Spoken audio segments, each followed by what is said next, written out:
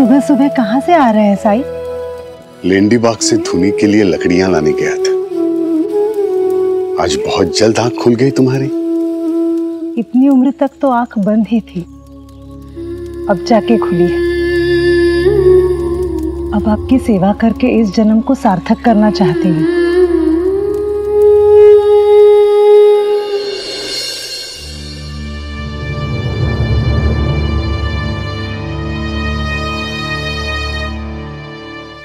साहब सुनो पाँच सौ तीन नंबर की फ़ाइल अंदर लेके आओ।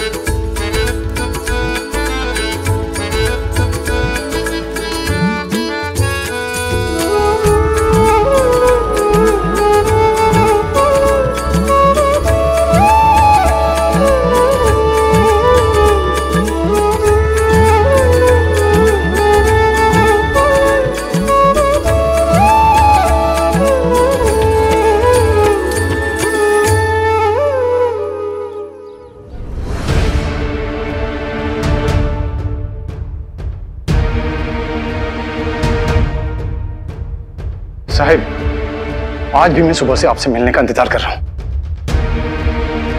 बाद में।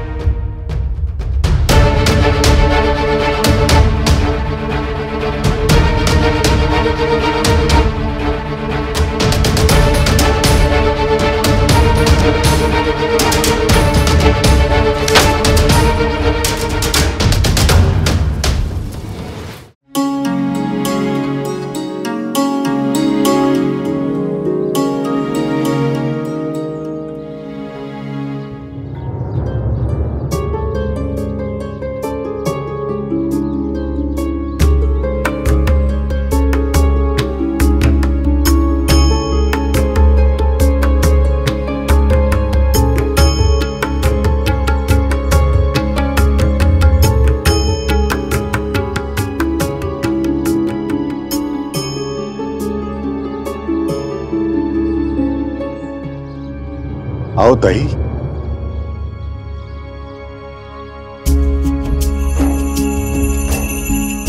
साई थोड़ी देर बाद आती हूँ। धर्मशाला में कुछ भूल आई हूँ।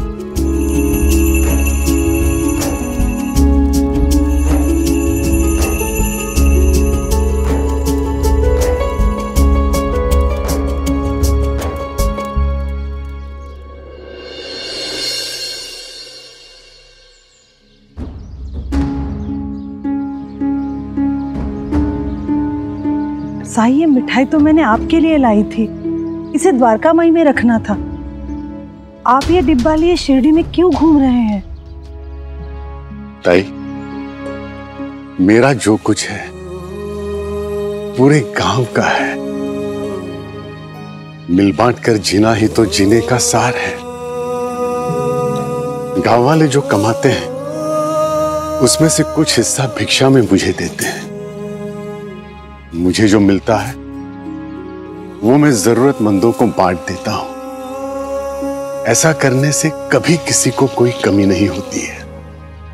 बड़ा नेक विचार है साई लेकिन ये मिठाई से किससे मदद हुई साईं?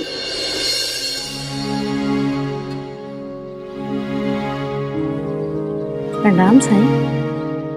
राम जी भला करें। साईं आज शाम का जन्मदिन है।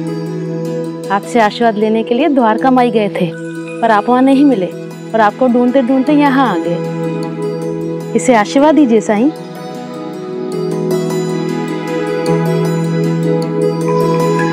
जीते रहो बेटा। खूब तरक्की करो।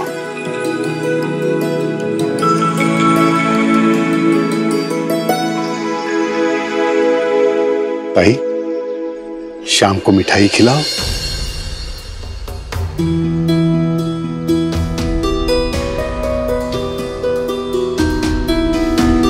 मिठाई? अरे वाह।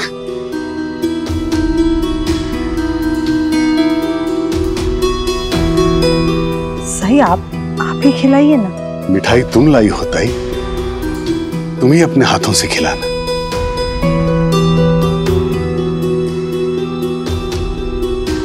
शुक्रिया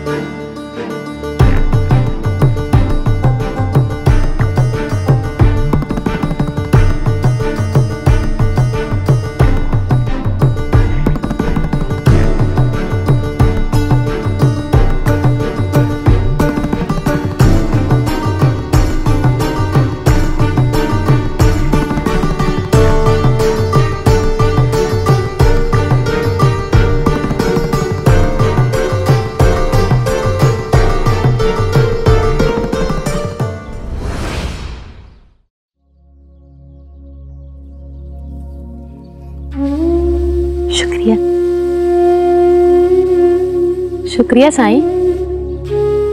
आप कितने कृपालु हैं साईं। आपसे हमें हमेशा ही आशीर्वाद मिलता है और इसके बदले में हम आपके लिए कुछ भी नहीं कर पाते हैं। माई जब भी मौका मिले इंसानियत की सेवा करो। यही मेरी सेवा होगी।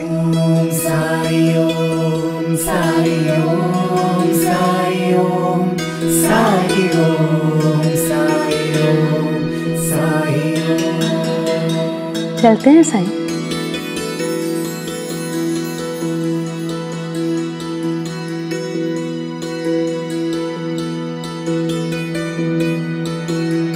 दिखाना ताई मिठाई किसी के काम आ गई ना? उस मिठाई ने किसी मासूम का दिन बना दिया आज। सही वो तो ठीक है पर मेरे हाथ से खिलाने की ज़रूरत थी क्या?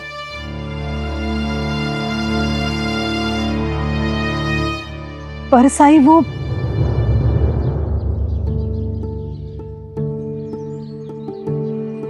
क्या हुआ ताई? रुक क्यों गई? अपने भाई से संकोच कैसा? संकोच नहीं डर लगता है साई। आजो नहीं बन पाई अब तक। मेरा साया पड़ने से इसलिए बच्चों से दूर ही रहती हूँ मैं।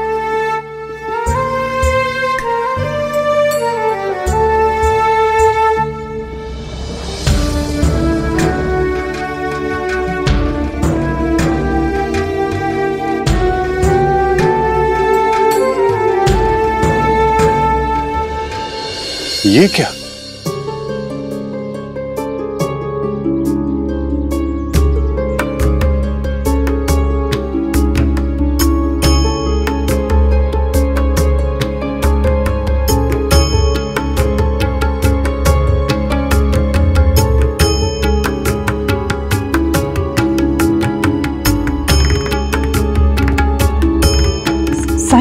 कर रहे हैं आप? मुझे शक है इस हवा में दीमक लग गई है। हमें इसे दूर करना चाहिए। अगर सब जगह फैल गई तो हमारा नुकसान कराएगी।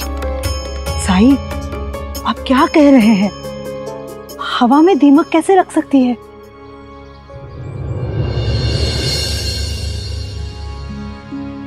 ताई जब हवा में दीमक नहीं लग सकती तो हवा की तरह पवित्र तुम्हारे मन में दिमक कैसे लग सकती है?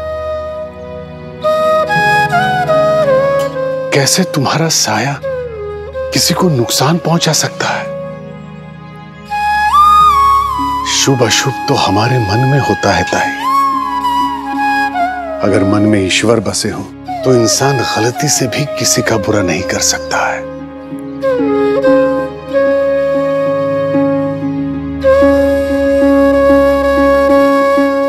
रही बात माँ बनने की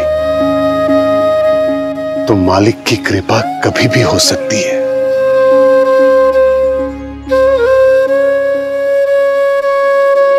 साही इस उम्र में। नहीं। ये उम्मीद तो मैंने कब की छोड़ दी है। ताई जहाँ से हमारी उम्मीद छूटती है उसकी लीला वहीं से शुरू होती है।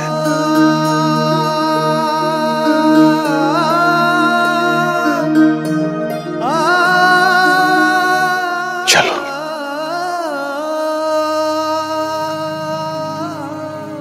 मन में साई के क्या है?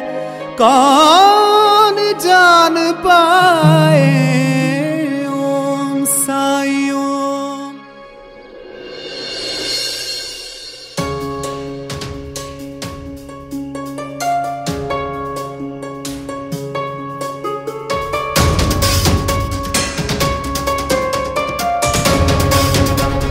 मेरा उनसे मिलना बहुत ज़रूरी है। तो फिर वो क्यों देर कर रहे हैं? साहब मैं तो सिर्फ़ संदेश दे सकता हूँ। मिलना ना मिलना तो बड़े बाबू पर है।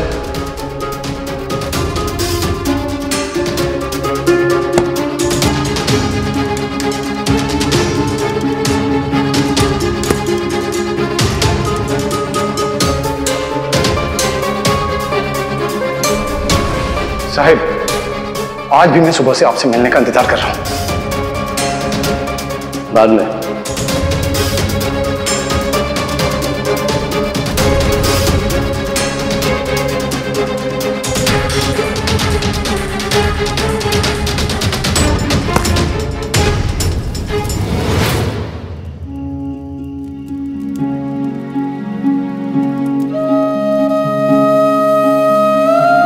चंद्रा मैं तुम्हारी बहुत आभारी हूँ।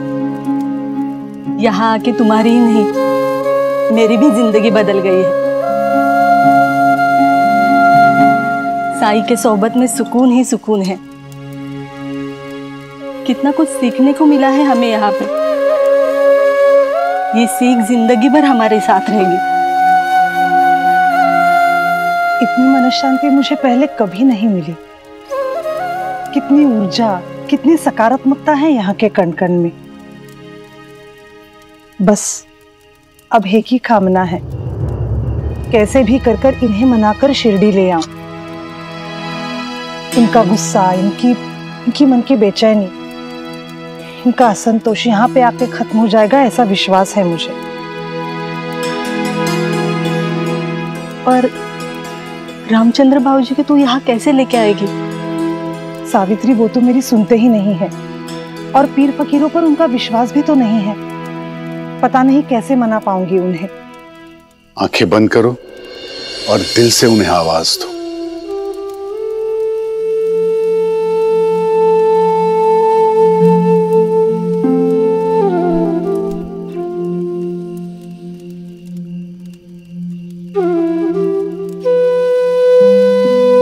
दिल से उन्हें आवाज़ दोगे तो अपनी बात उन तक ज़रूर पहुँचा पाओगे।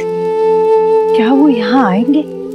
कोशिश करते वक्त फल की अपेक्षा नहीं करनी चाहिए ताई। क्योंकि उससे कोशिश करने का प्रभाव कम हो जाता है। हम ये सुनिश्चित कह तो नहीं सकते कि परिणाम क्या होगा। इसके बावजूद हमें लगातार और पूरी लगन के साथ कोशिश करते रहना चाहिए। तुम भी सच्चे मन से उन्हें पुकारो। और परिणाम राम जी पर छोड़ दो।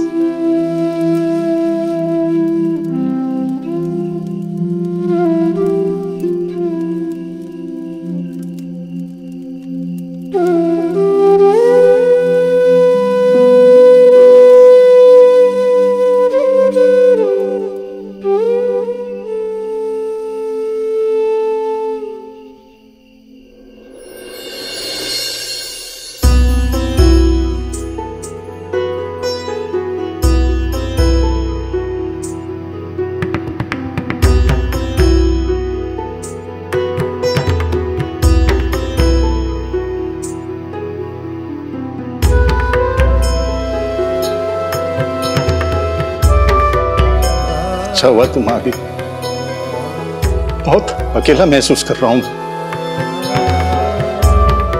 ऐसा लगता है जैसे सारी दुनिया ने मेरे खिलाफ जंग छिड़ दी है। चंद्रा, मैं बहुत अकेला हो गया आप अकेले कैसे पढ़ सकते हैं? मैं कल भी आपके साथ थी। आज भी आपके साथ हूँ और हमेशा आपके साथ रहूँगी। इसीलिए आप खुद को अकेला मत समझिए।